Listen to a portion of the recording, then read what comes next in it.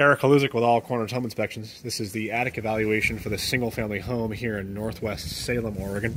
As with all the videos in this report, we would request that you view this video as supplemental to the written version of the report to which this video has been attached.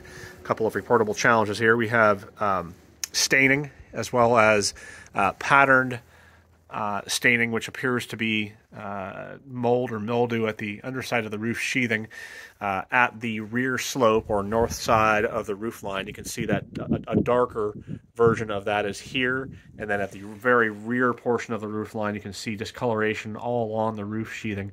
We'd recommend a licensed uh, specialist with recent demonstrated experience managing such challenges get out to it here to test and then uh, determine what, uh, if any, course of action may be necessary.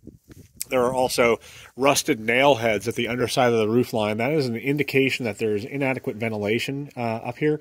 Uh, rusted nail heads uh, generally won't occur uh, in an attic space where there is proper and balanced ventilation.